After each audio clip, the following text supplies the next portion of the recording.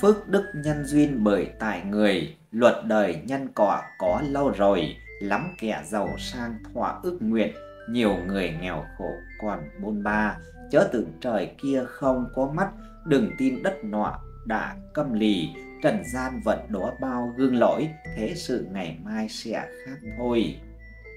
Và quý cô bác, anh chị thân mến, Minh Đường Tử Vi thật là vui mừng khi được gặp lại quý cô bác, anh chị trong chuyên mục Tử Vi 12 con giáp mới nhất trên kênh Minh Đường Tử Vi ngày hôm nay. Là đầu tiên, thay mặt cho ban biên tập chương trình, những người làm chương trình, Minh Đường Tử Vi xin được gửi lời chào, lời chúc tới quý cô bác, anh chị, sức khỏe, hạnh phúc, bình an, tấn tài, tấn lộc, tấn an khang. Đây cũng là thời điểm vật đổi sao rời, hai cảnh chuyển hình cho quý bản mệnh, tiền bạc ùn ùn kéo về như thác lũ, giàu sang viên mãn tới già. Và nếu như quý bản mệnh, quý cô bác, anh chị là lần đầu tiên đến với kênh Minh Đường Tử Vi thì hãy hoan hỷ đăng ký kênh, ấn chuông ở phía bên dưới để được xem những video mới nhất mà 30 tầm trình Minh Đường Tử Vi đăng tải cũng như là thấy nội dung video hay, hữu ích thì hãy like, chia sẻ video cho mọi người cùng xem. Quý các bác, anh chị cũng đừng quên để lại ký đóng góp ở phía bên dưới phần bình luận. Kênh Minh Đường Tử Vi chân thành cảm ơn quý các bác, anh chị. Trong nội dung video ngày hôm nay mà ban biên tập trình Minh Đường Tử Vi xin chia sẻ muốn gửi tới quý các bác, anh chị đó chính là nội dung như sau. Chấn động, thầy Tử Vi bất ngờ chỉ rõ, người tuổi nhâm tý sinh năm 1972, từ mai đến hết tháng tư âm lịch được thần tài trả ơn, cuộc đời tươi sáng, gặp may hết chỗ nói, chốc mốt giàu to, đổi đời ngoạn mục.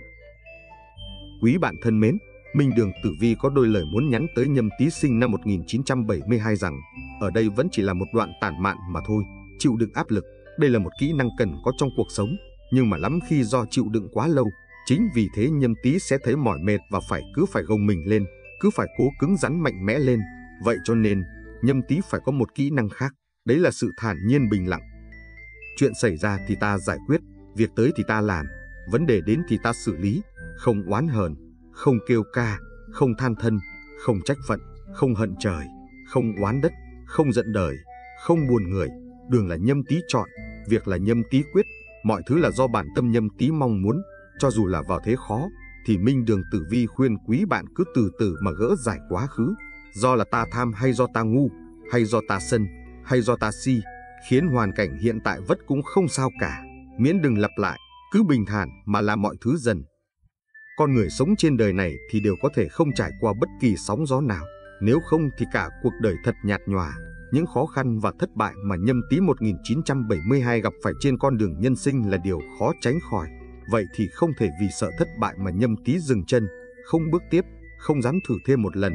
Nếu cố thêm một lần nữa mà vẫn không thành công thì chí ít nhâm tí cũng biết rằng cách này không ổn, cùng lắm thì ta làm lại từ đầu. Cuộc sống luôn có nhiều ẩn số thú vị, vậy cho nên hãy lạc quan và tìm cho mình những tia hy vọng, dù là nhỏ nhất. Và theo luận giải mới nhất của giới tử vi về vận trình sắp tới của quý bạn nhâm tý sinh năm 1972, và đặc biệt là trong tháng tư âm lịch, quý nhâm tý sẽ được lợi từ phúc tinh lộc tinh và quý nhân nâng đỡ. Đây là thời điểm nói là hiếm có, cực thịnh, thánh sẽ cứu âm độ dương, phê chữ đỏ, bỏ chữ đen mà ban cho tài cho lộc, cho vạn sự hanh thông đến từ quý nhân. Tí mà biết nắm bắt thời cơ này, thì tháng tư âm lịch này không phải nghĩ, tiền vào như nước, trả hết nợ nần, gia đình êm ấm, hạnh phúc. Phàm là chuyện trên đời muốn thành thì phải có đủ thiên thời, địa lợi, nhân hòa.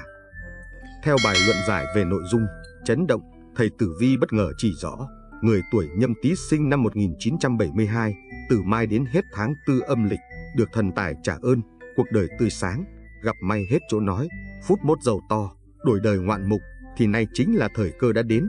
Muốn giàu nhanh thì phải làm thế nào? Vậy hãy cùng Minh Đường Tử Vi theo dõi luận giải chi tiết ngay sau đây nhé.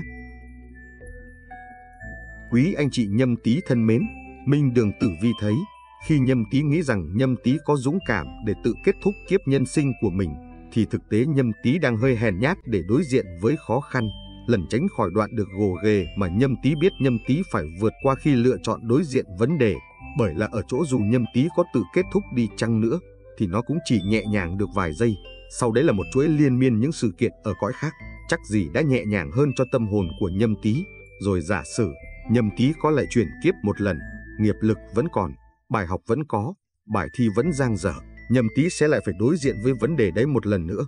Khổ như vậy, mệt thì nhiều lần hơn. Tôi biết là lắm lúc anh chị nhâm tý muốn bỏ mặc buông xuôi, lắm khi nhâm tý chán lắm, trầm cảm lắm, mỏi mệt, nhưng trời không bắt cá phải bay, cũng không bắt chim phải bơi lội. Thử thách đặt ra cho dù là có khó, có dồn dập liên miên không ngừng, thì cũng nằm trong tầm khả năng của chính nhâm tý thôi. Nếu nhâm tý muốn ngày mai yên bình, ngày hôm nay thì nhâm tý cần phải chiến đấu. Chiến binh không phải lúc nào cũng chiến thắng cả, mà là không ngừng chiến đấu, dù chỉ một giây khi đang trong trận. Nếu nhâm tý đang quẩn quanh quá, đang mỏi mệt quá, đang yêu phiền quá, hãy cứ viết một dấu chấm than ở đây, hoặc kể lại câu chuyện của chính mình, coi như là một sự xả những nhịp thở tiêu cực của mình vào vũ trụ bao la, cho nó tan biến đi, cho tâm hồn nhâm tý một khoảng tĩnh rồi lại tiếp tục cố gắng đấu đời. Nhâm tý có cuộc chiến của nhâm tý, tôi có cuộc chiến của tôi, mỗi chúng ta đều có cuộc chiến riêng, cần kiên trì và nỗ lực. Nhâm tý lúc này cũng không cô độc đối diện với những khó khăn của nhân sinh đâu. Hãy kiên cường lên nhâm tý nhé. Nhắc tới chuột chúng ta đều biết, đây là một trong những con vật xuất hiện khắp mọi nơi trên thế giới. Nó có sức sống bền bỉ và được biết đến là thông minh, lanh lợi. Những người sinh năm nhâm tý cũng có chung đặc điểm như vậy đối với công việc và cuộc sống. Người tuổi nhâm tý rất tốt tính, bộc trực, thành thật, nhưng cử chỉ, lời nói của họ lại có phần chặt chẽ. Họ nỗ lực làm việc, sống tiết kiệm, không bao giờ cho ai cái gì trừ phi người đó họ thực sự thân thiết, vì họ rất chăm chỉ và tiết kiệm, nên họ không ưa những kẻ lười biếng và hoang phí. Người tuổi nhâm tý thông minh, tháo vát, sáng tạo, có năng lực giải quyết công việc khó, giỏi thích nghi và vượt mọi trở ngại trong hoàn cảnh khó khăn. Bởi vậy, cho nên họ có xu hướng trở thành người lãnh đạo và luôn đóng góp những ý tưởng độc đáo. Sáng sàng khi làm việc tập thể thì họ luôn muốn thử sức mình trong những lĩnh vực khó thách thức bản thân. Công việc càng khó khăn và gian nan thì họ càng kiên trì, tỏa sáng. Nhiều người dành cả đời để theo đuổi tiền bạc và địa vị, nhưng người tuổi nhâm tý có trí nhớ rất tuyệt vời. Họ nhớ mọi thứ từ nhỏ đến lớn rất lâu. Họ có thể làm bất cứ nghề gì và đều gặt hái được những thành công nhất định trong cuộc sống. Họ có trật tự, ngăn nắp, gọn gàng và giỏi kết giao. Bên cạnh đó, người tuổi nhâm tý thích thu lượng, tích lũy thông tin, có khát vọng cầu tri thức, tuổi nhâm tý cũng có nội tâm phong phú, có tính hướng ngoại, thích du sơn ngoạn thủy trong các tình huống nguy hiểm. Người tuổi nhâm tý, họ luôn có những cách giải quyết tối ưu, khả năng dự đoán và tính cách thận trọng, giúp họ tránh được những tình huống tồi tệ nhất. Đối với vấn đề tình cảm, tuổi nhâm tý là đa cảm nhất trong 12 con giáp, họ rất quan tâm, gắn bó với các thành viên trong gia đình. Đôi khi họ rè rặt và thường che giấu cảm xúc mạnh mẽ của mình. Người tuổi nhâm tý luôn biết kính trên nhường dưới. Họ vẫn luôn quan tâm, chăm sóc trẻ nhỏ và tin tưởng những người ở trên mình. Mặc dù có rất nhiều ưu điểm đáng ngưỡng mộ, nhưng người tuổi nhâm tý cũng có một số nhược điểm khó bỏ. Điển hình là họ thích phê phán, châm biếng người khác, đôi lúc họ lại quá nhiều lời khi mua bán, họ cò kẻ, bớt một thêm hai. Một số người tiết kiệm quá mức dễ gây cảm giác hà tiện, một số người khác quá tham công tiếc việc, dẫn tới tình trạng suy nhược sức khỏe. Bên cạnh đó, thì lòng dạ mềm yếu của tuổi nhâm tý cũng là một nhược điểm khiến họ bị người khác lợi dụng và lừa gạt. Kính thưa quý vị, khi xem tử vi từ mai cho đến hết tháng tư âm lịch, Minh Đường Tử Vi thấy đây là một thời điểm có hung mà cũng có cát đến với con giáp này. Mọi việc lúc này tốt hơn hết quý bạn nên được tiến hành một cách tuần tự, cẩn thận và hãy hạn chế những quyết định nông nổi hay vội vã để hạn chế rủi ro có thể xảy ra. Cục diện tương xung là nguyên nhân chính gây nên những biến động trong vận trình của nhâm tý ở thời điểm này. Theo đó, quý bạn dễ đối mặt với nhiều trở lực, công việc đang suôn sẻ bỗng phát sinh sự cố, chủ yếu là xuất phát từ vấn đề về con người, các mối quan hệ xã giao trục trặc. nhậm tý vì thế lúc này nên tính mà chấn động mạnh, cho dù làm gì cũng cần suy nghĩ kỹ càng, có sự chuẩn bị chu đáo sẽ hạn chế được sai lầm nóng vội đưa ra quyết định sẽ khiến quý bạn lĩnh hậu quả không lường trước. Tài vận tăng giảm bất ổn, đầu tư có thu lợi nhưng chưa thật sự bền vững, thứ tài có lúc khởi vượng khí lại giảm sút mạnh hơn nữa, quý bạn còn bị hung tinh âm sát đeo bám, nên tránh các dự án đầu tư quá lớn, hãy đợi tới thời điểm thích hợp hơn. Chuyện tình cảm của nhâm tý trong tháng 4 năm 2024 âm lịch nhìn chung vẫn khá ổn định, chỉ cần nhâm tý kiềm chế cảm xúc của bản thân, chú ý lời ăn tiếng nói khi giao tiếp với các thành viên trong gia đình, thì mọi chuyện sẽ đâu vào đó. Sức khỏe của nhâm tý trong thời điểm từ mai đến hết tháng tư âm thì không gặp vấn đề gì nghiêm trọng. Tuy vậy nhâm tý vì thế vẫn nên bồi bổ cho cơ thể bằng một số thực phẩm bổ dưỡng để tăng cường sức đề kháng lúc mệt mỏi. Hãy cân bằng lại chế độ nghỉ ngơi và làm việc. Tóm lại, từ mai đến hết tháng 4 âm lịch, tuổi nhâm tý nên cẩn thận, tránh quyết định nông nổi vì có hung vận, công việc gặp trở ngại do vấn đề về con người, nên suy nghĩ kỹ trước khi hành động thì ắt mọi sự vẫn thành công thôi. Tài vận bất ổn, nên tránh đầu tư lớn. Tuy nhiên, vì vận số của bạn vẫn có được quý nhân nâng đỡ, cho nên quý bạn vẫn được các khoản lộc lá như bốc thăm trúng thường, tình cảm ổn định. Nếu nhâm tí kiềm chế cảm xúc, sức khỏe bình thường, nên bồi bổ cơ thể và cân bằng chế độ nghỉ ngơi. Quý vị và các bạn đang xem nội dung Chấn động, thầy Tử Vi bất ngờ chỉ rõ, người tuổi nhâm tý sinh năm 1972, từ mai, được thần tài trả ơn, cuộc đời tươi sáng, gặp may hết chỗ nói, phút mốt giàu to, đổi đời ngoạn mục. Và sau đây, Minh Đường Tử Vi xin gửi đến quý vị và các bạn phần luận giải về vận trình tử vi chi tiết trong hai tuần còn lại của quý vị nhâm tý diễn biến ra sao, cũng như về cẩm nang vượng vận như thế nào, thì xin mời quý vị hãy chú ý lắng nghe và đừng bỏ lỡ thông tin quan trọng nào dưới đây nhé. Đầu tiên là tử vi tuần thứ ba trong tháng tư âm lịch, cụ thể chi tiết như sau. Kính thưa quý vị, tiến sang tuần thứ ba trong tháng tư âm, về mặt công việc, con giáp tuổi nhâm tý khá chủ động và quyết định mọi việc khá dứt khoát, có thể là vì có người hỗ trợ, nên quý bạn cảm thấy tự tin tiến bước. Thế nhưng bên cạnh đó, vẫn có những người đang ganh tị với những gì nhâm tý đang có và ngấm ngầm làm hại. Việc mọi thứ tác động lên chúng ta không quan trọng bằng cách chúng ta phản ứng với nó. Chính vì thế, nhâm tý 1972 lúc này đừng vì lúng túng trong cách xử lý hay là sao nhãng, mà có những quyết định thiếu suy nghĩ nhé. Thậm chí cả những việc cần quyết định ngay cũng phải đợi khi nhâm tý bình tĩnh hơn đã. Nếu không nhâm tý sẽ gặp xui xẻo, dễ phạm sai lầm. Đó có nhiều hạng mục công việc cần phải hoàn thành trong tháng này. Vì thế cố gắng tập trung hơn một chút. Dù có việc gì gây sao nhãng thì cũng nên gạt sang một bên, để nhâm tý thực hiện xong đã rồi mới có thời gian xử lý việc khác. Xem tử vi tuần thứ ba trong tháng tư âm cho thấy, tuần này hợp tác làm ăn khá thuận lợi.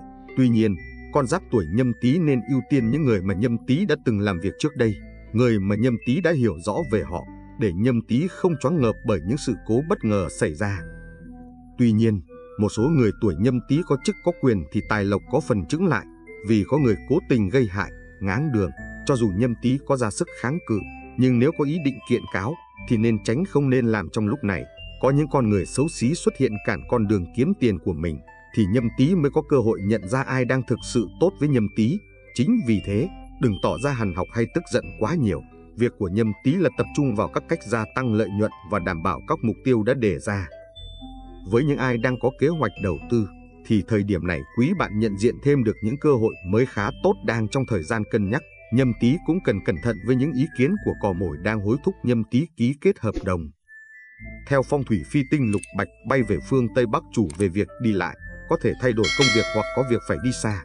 Nếu thất vận thì đi lại dễ gặp trắc trở, khó khăn, bị kiện tụng, vướng vào vòng lao lý.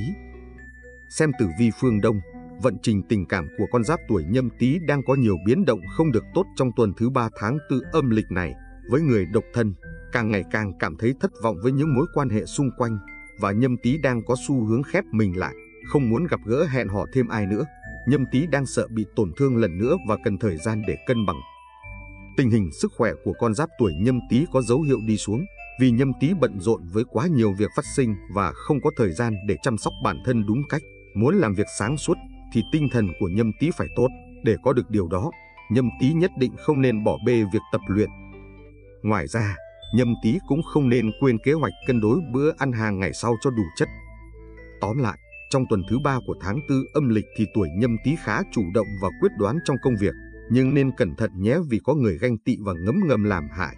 Nên tập trung hoàn thành các hạng mục công việc, ưu tiên những người đã từng làm việc cùng trước đây. Tài lộc có phần chững lại, nhưng nhìn chung vẫn ổn hết thôi. Ở đây Minh Đường Tử Vi thấy, vì có người cố tình gây hại nhưng không nên kiện cáo lúc này. Vận trình tình cảm không tốt, người độc thân cảm thấy thất vọng và khép mình lại. Sức khỏe đi xuống do bận rộn và không chăm sóc bản thân đúng cách. Và quý nhân là Mão và Ngọ. Tiểu nhân là Thìn và Mùi. Màu sắc may mắn là trắng và tím. Con số may mắn 75, 86, 91, 68, 89. Cuối cùng là luận giải tử vi tuần thứ tư trong tháng tư âm lịch. Xem tử vi tuần thứ tư trong tháng tư âm của người tuổi nhâm tý minh đường tử vi thấy, quý bạn đang trong giai đoạn thử thách, phải đối mặt với nhiều trở ngại trên con đường công danh, sự nghiệp của mình. Trong tháng có tử vi cắt tinh chiếu rọi quý nhân, con giáp này có thể được cấp trên trao cho cơ hội để thể hiện năng lực của mình. Song nếu quý bạn không biết cách nắm bắt cơ hội, thì có khi lại hóa thành hại. Theo tử vi tuần thứ tư tháng tư âm, cục diện tí mùi tương hại khiến cho con giáp này trở nên nóng tính, có những suy nghĩ mang tính cực đoan, không hề thích hợp chút nào với người đang trong giai đoạn thử thách như quý bạn.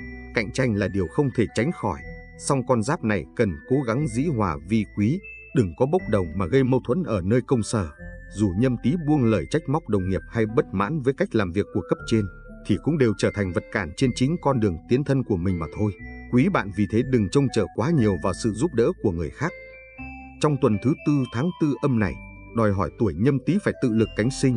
Nhâm tý 1972 lúc này quý bạn càng thể hiện được sự chủ động và độc lập của mình, thì khả năng thành công lại càng cao. Xem tử vi phương Đông thấy cực rõ là bước sang tuần thứ tư tháng tư âm này, người tuổi nhâm tý chịu nhiều áp lực của cục diện tương hại, nên tinh thần có phần dễ bị kích động, khó giữ được bình tĩnh và sáng suốt. Điều này sẽ tác động trực tiếp lên vận trình tài lộc của con giáp này. Quý bạn cứ nghĩ phải tiết kiệm, nhưng lại tiết kiệm không phải lối. Cuối cùng thành ra còn tốn kém hơn gấp nhiều phần.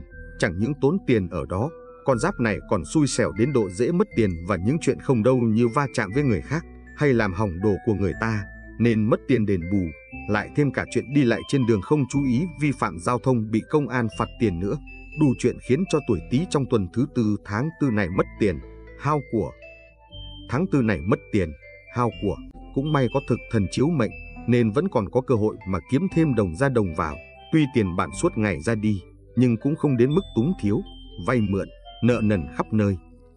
Theo dõi tử vi tuần thứ tư tháng tư âm tuổi nhâm tý âm lịch, quý bạn tuần này sẽ có nhiều tin vui trong chuyện tình cảm. Nguyệt lệnh lâm đất trưng sinh đào hoa khởi vượng, có nhiều cơ hội cho tuổi nhâm tý lựa chọn người thực sự phù hợp là một nửa của mình. Vợ chồng tuổi tý biết bù trừ cho nhau nhiều thứ trong cuộc sống, có người ấy là hậu phương vững chắc. Điều này sẽ giúp cho nhâm tý yên tâm phấn đấu sự nghiệp, cũng có nhiều động lực để kiếm tiền, gây dựng cuộc sống hạnh phúc và sung túc hơn cho những người mình yêu thương. Trong tháng có thủy thổ xung khắc, có thể tác động xấu đến sức khỏe của con giáp này. Quý bạn cần phải chú ý nhiều hơn khi đi lại và tham gia giao thông để phòng mắc phải hỏa huyết quang xảy ra va quẹt trên đường. Cửu tử bay vào phương Đông Bắc tuần thứ tư tháng tư âm này, tuổi nhâm tý nên chú ý dọn dẹp nhà cửa ở phương vị này, tránh để nhà cửa bừa bãi, dễ khiến cho tình hình sức khỏe càng thêm xa sút Nhớ theo dõi thêm tử vi hàng ngày của 12 con giáp để biết thêm chi tiết vận trình sắp tới. Tóm lại, tuần thứ tư tháng tư âm lịch, tuổi nhâm tý gặp nhiều thử thách, trở ngại trong sự nghiệp, cần nắm bắt cơ hội, tránh nóng giận, xung đột nơi công sở thì quý bạn sẽ thành công, tự lực cánh sinh, chủ động, độc lập để thành công. Tài lộc hao hụt do chi tiêu không hợp lý, cho nên rất dễ mất tiền, va chạm, vi phạm giao thông. Cho nên quý bạn cần phải cẩn thận nhé. Có tin vui trong chuyện tình cảm và chắc chắn sẽ tìm được người phù hợp. Chú ý sức khỏe đề phòng tai nạn giao thông, dọn dẹp nhà cửa hướng đông bắc. Và quý nhân là thân và xỉu. Tiểu nhân là ngọ và dậu. Màu sắc may mắn là đen và bạch kim con số may mắn 72, 81, 95, 67, 12. Kính thưa quý vị và các bạn, Minh Đường Tử Vi thấy là ngày sinh cũng là một yếu tố quan trọng, có ảnh hưởng lớn tới cuộc đời của một người. Ngày sinh tốt góp phần tạo nên lá số tử vi cát lợi, hứa hẹn số phận may mắn và tốt lành. Cụ thể những ngày sinh đại cát của người tuổi Tý là ngày nào và những ngày sinh khác ẩn chứa bí mật gì về vận thế của con giáp này. Hãy cùng Minh Đường Tử Vi tham khảo những ngày sinh đại cát nhất của con giáp này nhé. Một trong những ngày sinh đại cát của người tuổi Tý là mùng 7 âm lịch, đối chiếu với kiến thức tử vi thì người này thông minh, hiếu học, tài trí siêu quần, nữ giới lấy được người chồng hiền lành, chân thật, nam giới lấy được người vợ thảo hiền, tài đức, những năm đầu vận trình vững vàng, ổn định, trung vận có tài sản tích lũy, hậu vận cát tường, an vui, viên mãn. Mùng 9 âm lịch cũng là ngày xinh đẹp, báo hiệu con người có dáng vẻ đoan chính, tuổi trẻ thuận hòa, yên vui, hậu vận rất tốt, danh lợi song toàn, có phúc, có đức, một đời sống lương thiện, có tâm sáng là người từ bi, nên luôn được yêu quý và kính trọng. Người tuổi Tý sinh vào ngày 13 âm lịch sẽ gặp nhiều điều tốt, hồng phúc to lớn, có cát tinh xoay chiếu, nên phúc lộc có thừa, phú quý, viên mãn, cuộc đời không có gì phải lo buồn, sướng từ trong trứng cho tới khi nhắm mắt xuôi tay. Người tuổi Tý sinh ngày 25 âm lịch, được xếp vào một trong những ngày sinh tốt của người tuổi Tý. Sinh vào ngày này nam mệnh rộng lượng, thích làm việc tốt, tính tình phóng khoáng, lấy vợ hiền lương, nữ mệnh cần kiệm, lo toan, giỏi vun vén việc nhà, cuộc sống an vui, có số vượng phụ ích tử. Người tuổi Tý sinh vào ngày 30 âm lịch, thông minh, hoạt bát, thích làm việc thiện, từ trung vận bắt đầu phát đạt, tài lộc dồi dào, tiền đồ vô cùng rộng mở, không những nhiều phúc mà còn thọ lâu dài. Kính thưa quý vị và các bạn, đời là một bể khổ, và ai cũng có thể phải đối mặt với những khó khăn và trở ngại của riêng mình. Thế nhưng mà tại sao có người vẫn cười nói vui vẻ, tương có người buồn phiền, ủ rũ, thậm chí tới mức trầm cảm, tự tử.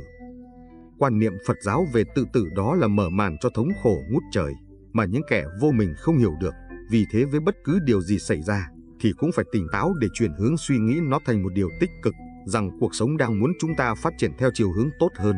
Cho dù là mây mờ đang hiện hiện trước mắt, vì có hằn học với đời cay nghiệt với người, thì nhâm tý cũng chẳng thể tìm ra giải pháp cho mình, mà chỉ đang lãng phí thời gian. Hãy chọn lối sống vui vẻ, thiện lương, hay giúp đỡ người khác và có suy nghĩ tích cực. Nhâm tý sẽ truyền nguồn năng lượng ấy đến những người xung quanh mình. Chính những người nhận được sự giúp đỡ ấy sẽ đem lòng biết ơn nhâm tý, như cách nhâm tý biết ơn cuộc đời mỗi ngày, sẽ giúp đời nhâm tý thêm phúc lộc bình an.